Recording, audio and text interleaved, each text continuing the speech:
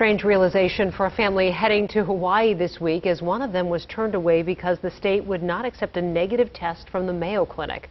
Fox 9's Mitty Hicks has more on the state's oversight, leaving off one of the nation's most prominent healthcare facilities we said, but we're from Minnesota. It's the Mayo Clinic, like the biggest research lab of the United States. What was supposed to be the dream Hawaiian vacation has turned into a nightmare for Joan and Grant Christensen.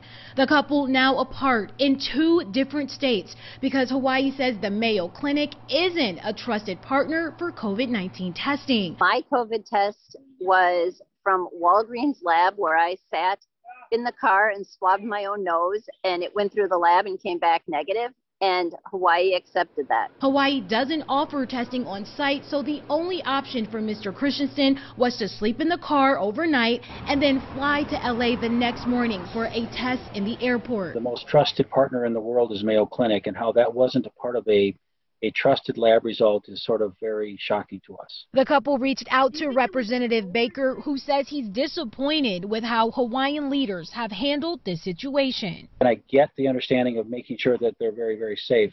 But my goodness, uh, picking up a phone and asking a few questions and calling the Mayo Clinic uh, you would think there'd be a process to do this better. MDH tells Fox 9 in a statement it's heard the same reports and are in contact with both the Mayo Clinic and Hawaii state officials to see what can be done. The Mayo Clinic says trusted partner status is granted based on government filings, not the safety or quality of the testing. And at this time, the Mayo Clinic Laboratories has not been granted trusted partner status in the state. As for Mrs. Christensen, she's hoping to have her husband back on the island before Valentine's Day. It's our first time back in 30 years. I don't think I'll ever convince him to come back here again. A spokesperson from Hawaii's Attorney General office says the only way getting around testing from its trusted partners is by applying for an exception. And if you don't have it, you'll have to quarantine for 10 days.